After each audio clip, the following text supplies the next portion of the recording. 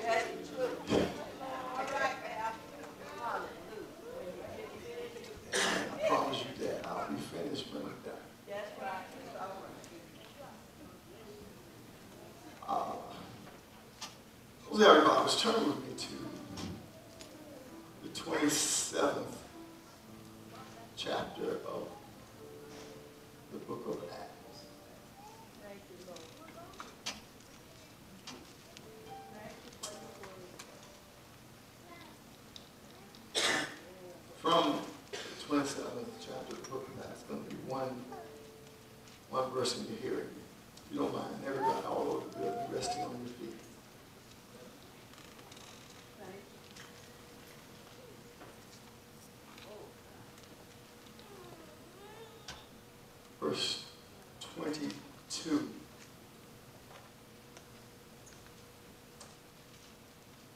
Reading from the NLT um, version of the Bible that reads like this Take courage.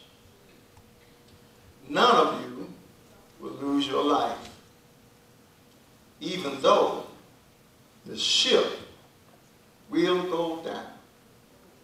I'm going to read that again. It says, Take courage, because none of you will lose your life. They say the ship, because this ship is going down. Subject, then we're going to pray is don't go down with the ship. You don't mind, contact someone, make contact with somebody, because we want God to bless your neighbor as well as yourself.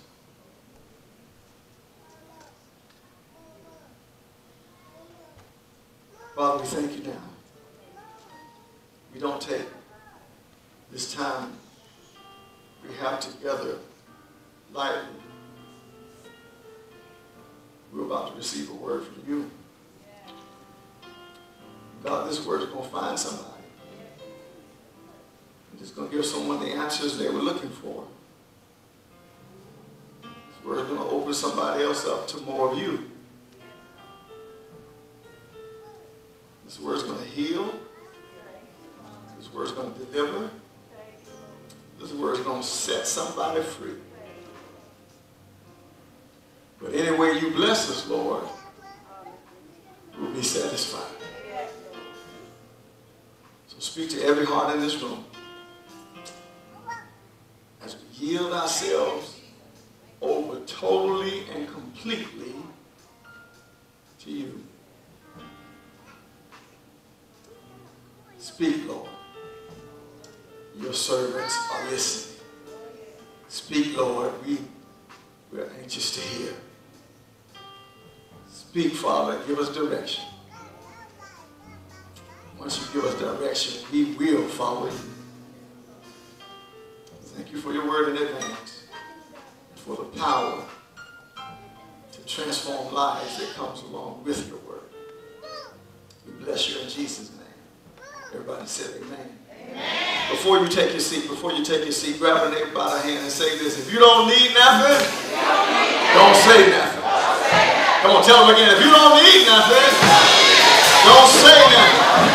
But if you need the Lord to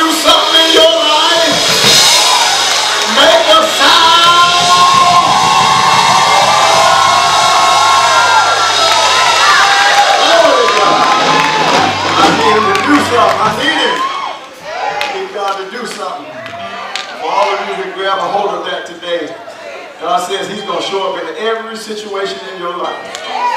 Every situation in your life. The Holy Ghost has some stuff for you that he's been holding. Lord have mercy. He's been holding on to things you've been praying about, fasting about, even things you've forgotten you prayed about.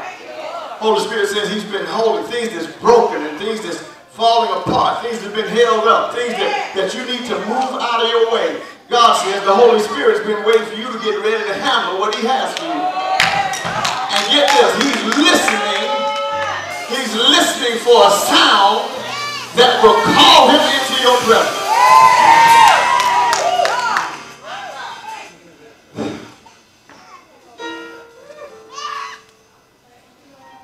God told me to tell you that healing was hovering over your head. Breakthrough was hovering over your head. And at this moment, this moment that you've stepped into contains the desires of your heart, trying to make you ready for something. This moment contains the desires of your heart and the things you've been praying for, the things the devil stole from you, the things that, that, that got broken and you thought could never be repaired. God said that that stuff is about to come your way. But listen, listen, listen. Look, and, and, and look, once you receive what God has for you, it's not going to come. He said, it, what he has for you is not going to come like a toy in the box. That when you open it up, you find everywhere and it says assembly required. God said, when this thing comes, it's going to fully be fully put together. And you ain't going to have to work on nothing because it's already assembled. It's already assembled and waiting for you to start riding. Anybody ready to ride today? Well, look, the Holy Spirit has one rule. He only comes when a sound is made. He is listening for a sound in earth that matches the sound in heaven. A sound that declares that Jesus is Lord. A sound that declares there's nobody like Jesus. A sound that declares that he is the only one that can lift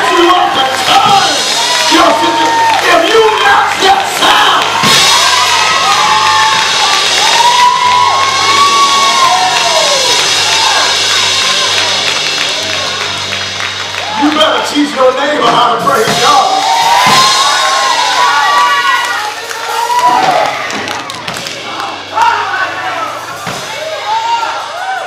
The Bible also makes references like this. It often says things like when the Holy Ghost was fully come. But I want to tell you he's fully come anytime two of you are touching and agreeing. He says, I'm going to step all of me into wherever of you better find. somebody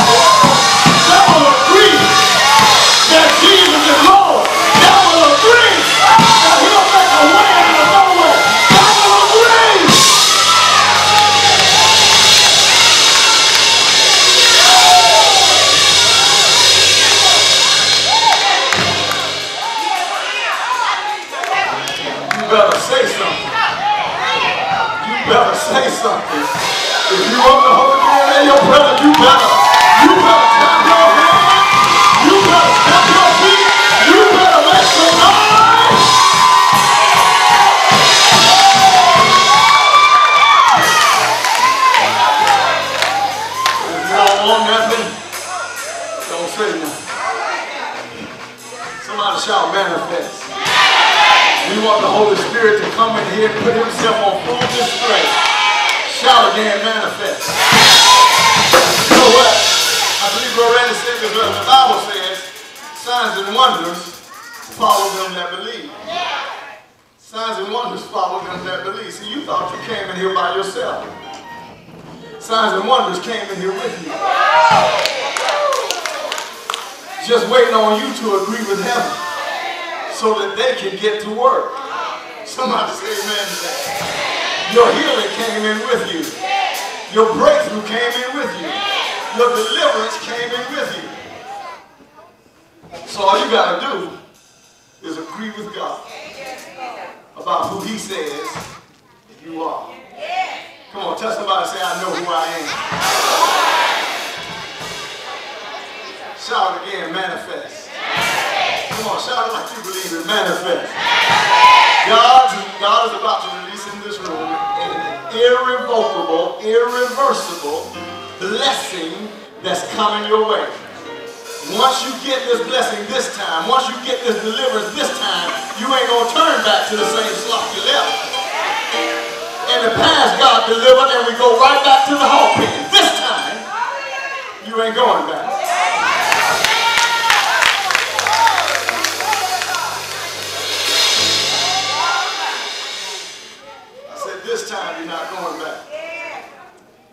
Preceding chapters of, of the verse that we read in your hearing, Paul is talking passionately about his, his endeavor to do God's work.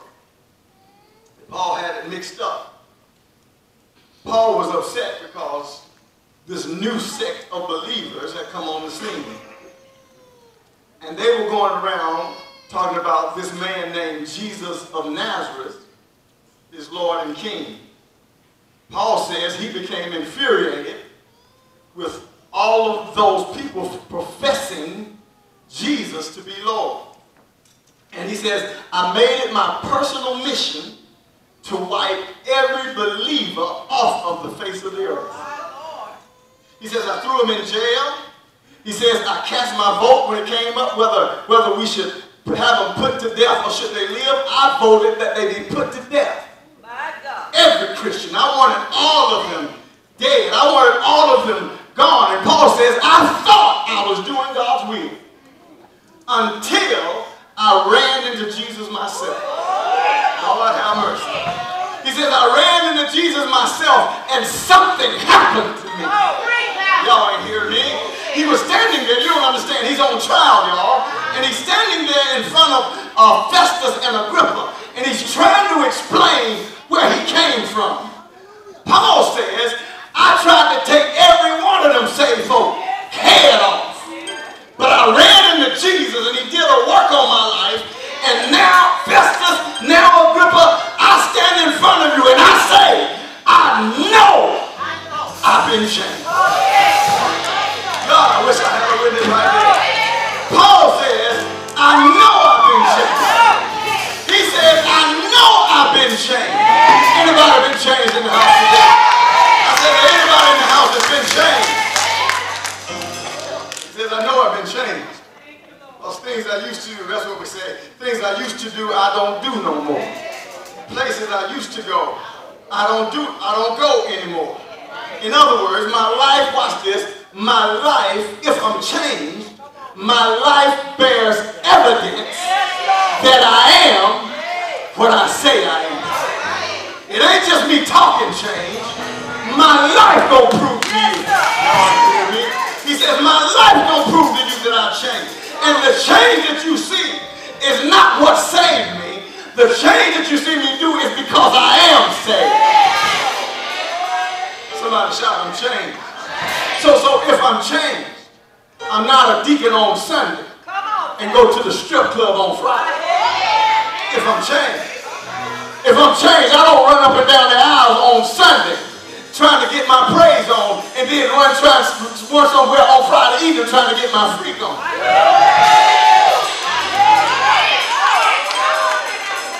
Because my life will bear evidence of the fact that I'm changed.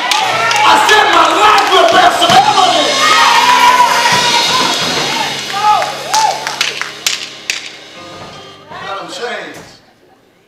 Evidence. I'm not perfect. Nowhere close to it, but I'm not where I used to be. Somebody say thank you, Jesus. I said I'm not perfect, but I'm not where I used to be. God has brought me a mighty, mighty long way. Can I get a witness in the house today? He brought me from a mighty, mighty long way. I'm going to talk to you for the next few moments. I'm changing, I'm turning now. Because I want to talk to you about a sinking ship. And I want to encourage you not to go down with the ship. Now, text Paul is on his way to Rome and boards a ship. And the ship has problems from day one. Every time they turn around, they're going into one storm after another. Yes, Lord. If it ain't one storm, it's another storm. If it ain't one storm, if something ain't wrong over here, something's wrong over there. If it ain't the storm, it's the ship. If the storm ain't got us off course, something on the ship breaking down. Y'all ain't gonna hear me today. So now Paul receives a word from God.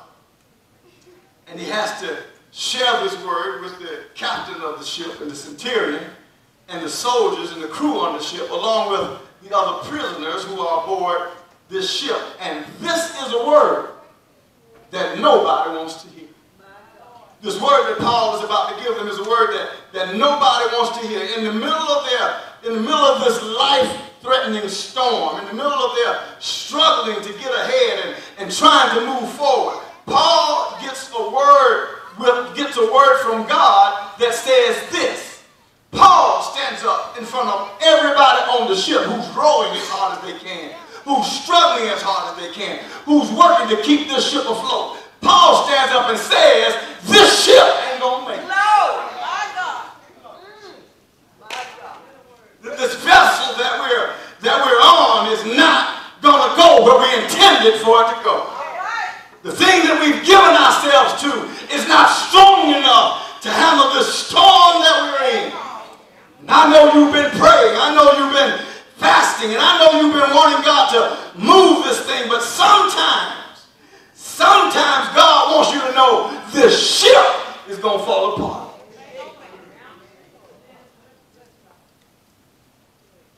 Ship is a metaphor. Could be a metaphor for a lot of different things. Ship is a metaphor for your relationship, metaphor for your career, could be a metaphor for your connections, your friends. Ship can be a metaphor for whatever is going on in your life. But sometimes you've got to realize that, that this ship is falling apart. Come on. Come on, Paul. It's not the word we want to hear. We want to hear a word like God's going to make everything all right. All right. We, we want to hear this too shall pass. We want to hear we're coming out of this. We want to hear if I just hold out a little while longer, God's going to make everything all right. But sometimes God gives you undeniable evidence that the ship that you're on ain't going to make it. Thing is about to end. This thing not going to go as far as you thought it was going to go. This thing is about to come to a crashing halt. And at some point, you got to realize better get off that ship. Yes, sir.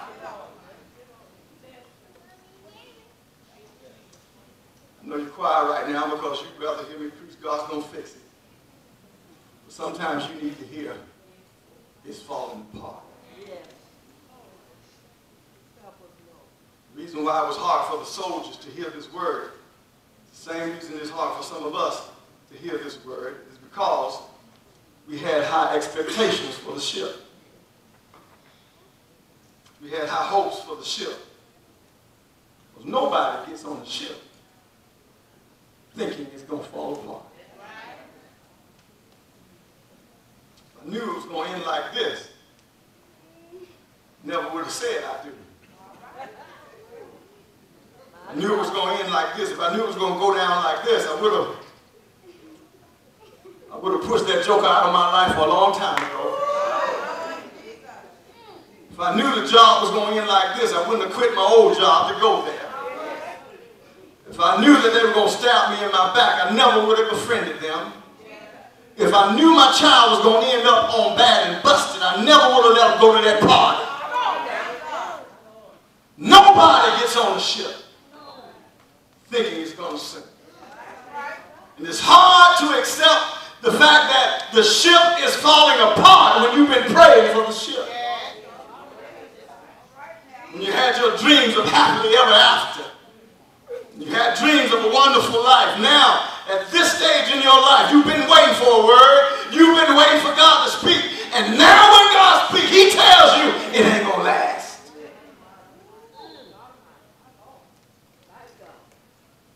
Give this, these men on this ship, they were skilled soldiers. They knew how to navigate in a storm.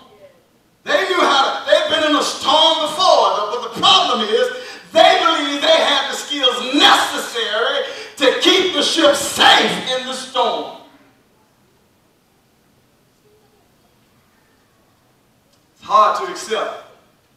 Ship's gonna fall apart when you think you got the skills necessary to keep it working. Prayed about it. You've had therapy. You've done all you know to do. But sometimes God's word is no. This ship will fall apart. No matter how good you are at what you do, you don't have the skill set to keep together what God has said. It's going to fall apart. Know, you used to lay it on them before. That used to work because you knew how to lay it down. That ain't working now. You don't have the skill set. You don't have the skill set to make work what you used to be able to make work. Come on, we, we've, we've been through storms before.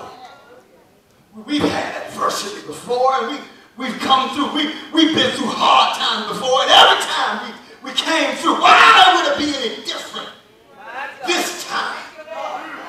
You keep telling yourself, I, I, I, I've been here too long to leave this ship. I've invested too much to leave this ship. I paid too high a price to leave this ship. I've done to, why should I stop fighting?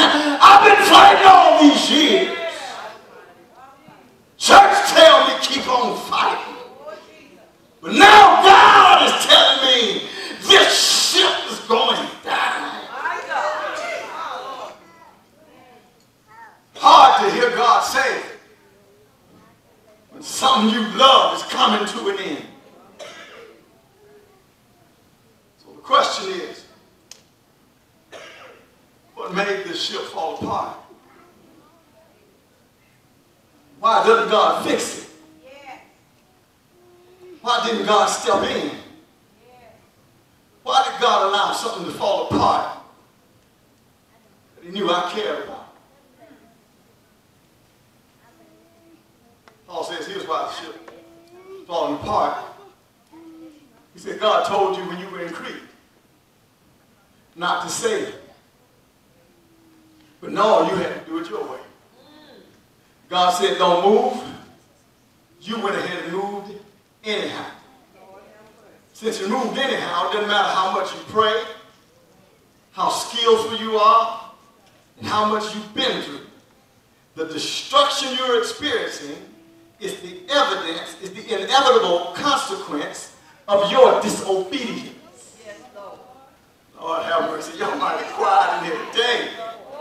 And because you struck out on your own without, without a word to undergird your ship, you decided to sail and not take the word to undergird you.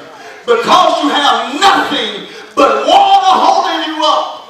When the storm gets angry enough and decide I ain't holding you no more, you got nothing.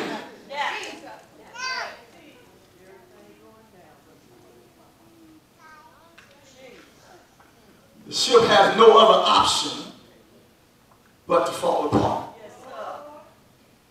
Second reason, he says, I told you not to sail because it was winter. He says, winter is coming.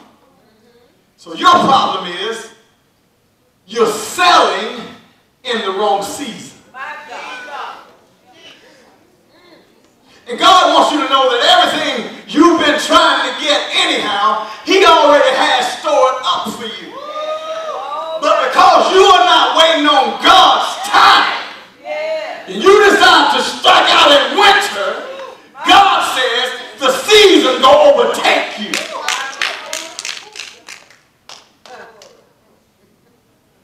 This is not the time to set sail. This is the time to sit still.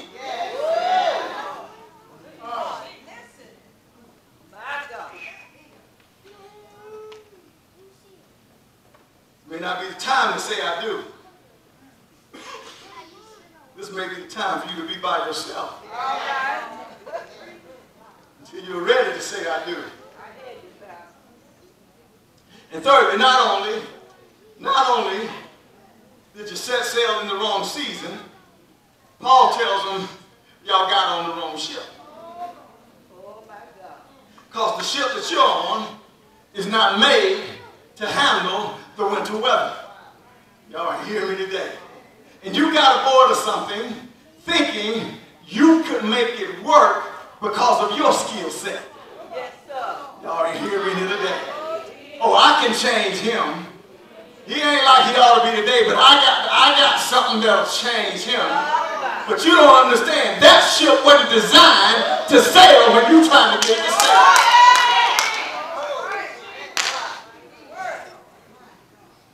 You're thinking you could change. You can change what God has created to be what it is. Listen, whatever it is, it's what it is. It is What it is. Come on, look at somebody say it is what it is. Listen, when somebody shows you who they are, believe them. I think I need to say that again. When that joker shows you his true colors. You better believe that's who he is. Don't let him, oh, I'm sorry, I'll never do it again. No, stop falling for that. If he slapped you one time,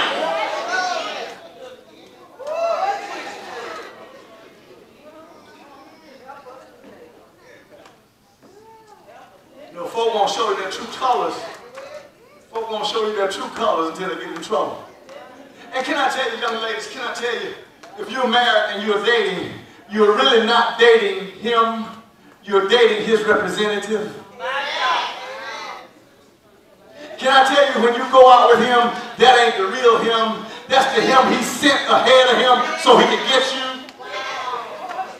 So he put on a representative that's all polished up and looks good, and you think you're getting that. When that was, and when it's time to get married, you come down here and you marry the real deal.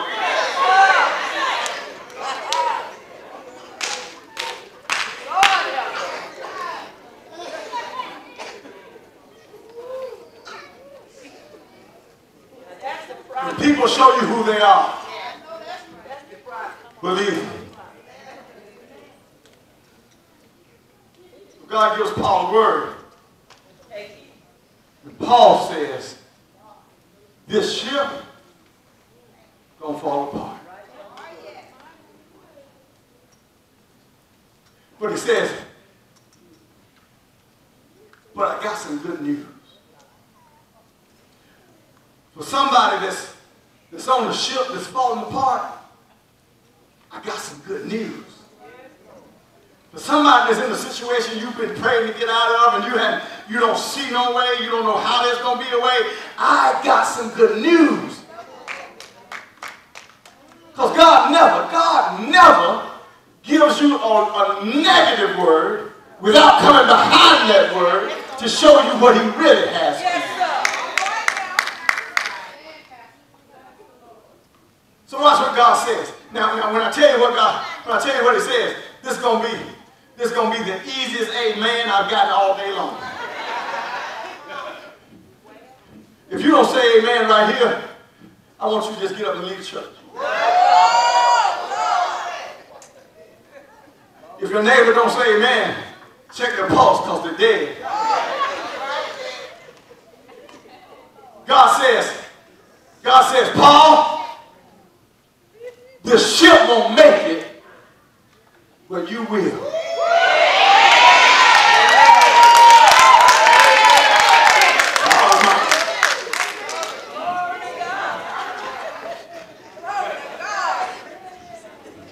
I refuse to say another word to somebody give y'all praise right there. You ought to say amen. You ought to say thank you, Jesus. You ought to say glory to God. You ought to shout hallelujah.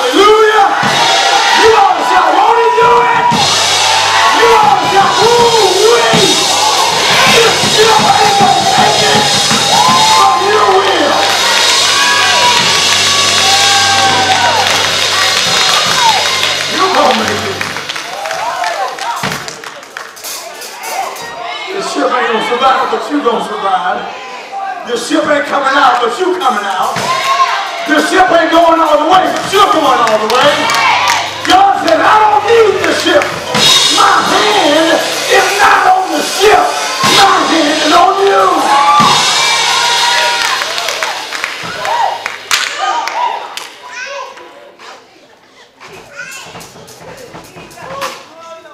On, high five three people tell you gonna make it,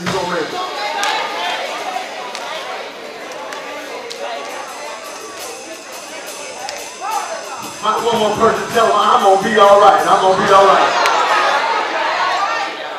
My ship might be breaking up, but I'm gonna make it. My ship might be falling apart, but I'm gonna make it. I may end up by myself, but I'm gonna make it. It might hurt like a dickens, but I'm gonna make it. I, can't see God right now, but I know by faith I'm gonna make it.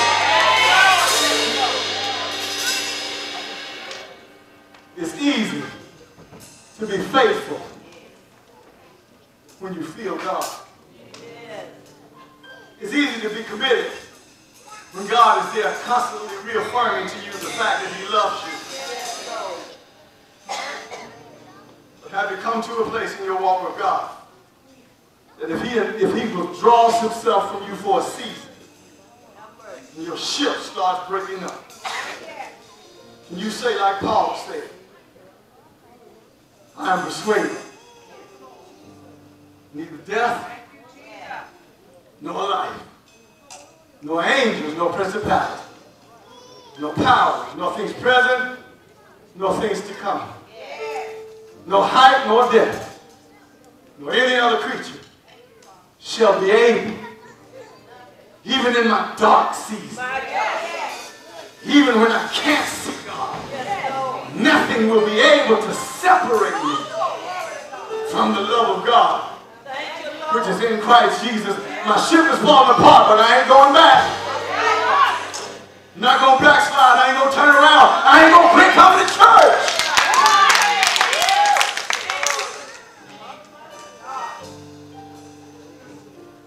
It's easy to praise when all your bills are paid. It's easy to praise God when your children are blessed.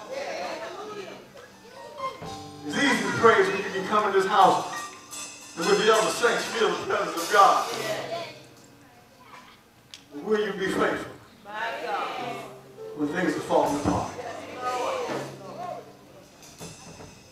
There'll come a time when things seem to be falling apart in your life. That's why you got to be very sure you have a sure grip on God.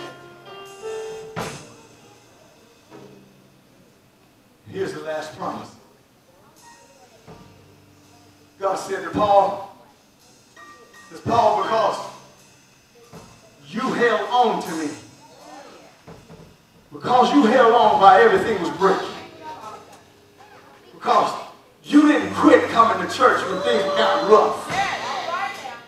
You didn't go back and pick up your nets and go fishing again. Because you held on to me, Paul, not only will you make but he said, everybody on the ship. Y'all ain't hearing me. No, you ain't getting it. You ain't getting it. He said, Paul, because of you, everybody on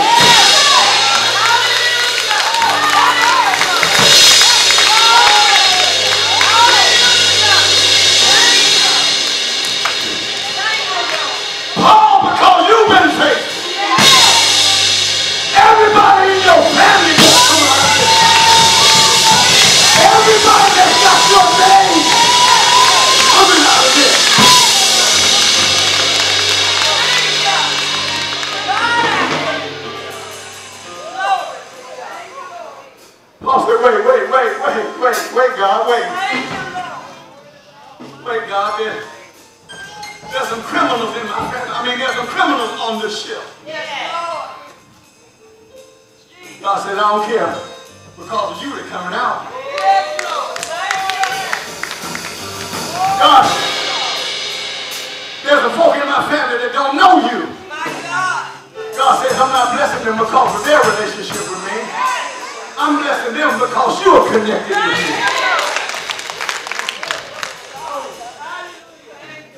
God, there's some co-workers on the ship. God says everybody that works with you, the whole company. The reason why that company is still surviving is because you're there. God says the reason why I throw money into that company is because you're there. The blessing is on your name. The blessing is on your name.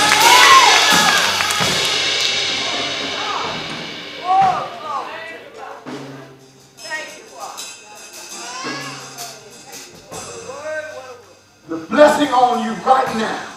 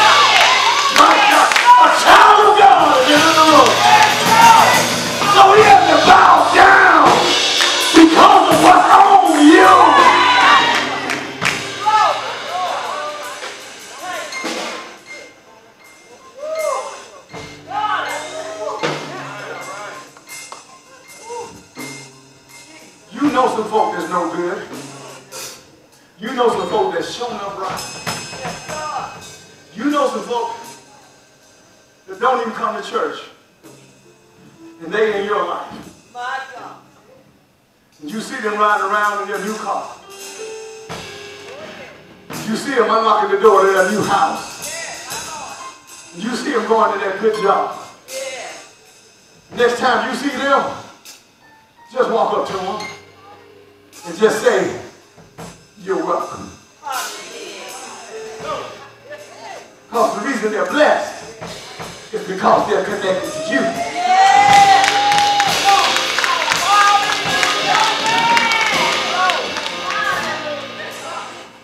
God says, I'm going to bless everything connected to you. Everything connected. So whenever I tell you to let something go, you better let it go. Because there's a blessing on your letting it go. I know you're scared. I know you got comfortable with what, with what the ship has been providing, with what the ship has been giving you. But God said it, was never the ship giving it to you in the first place. The ship is gone, but the provider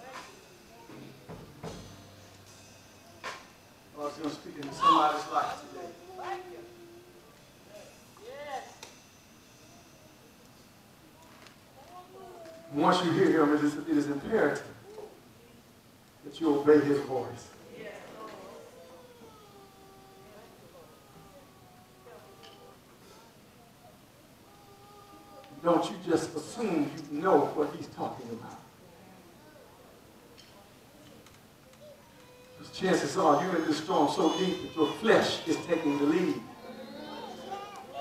And it is your flesh that speaks more often than the spirit. Because you let fear set in. And so the thing that you're calling God is not God at all. It is your flesh.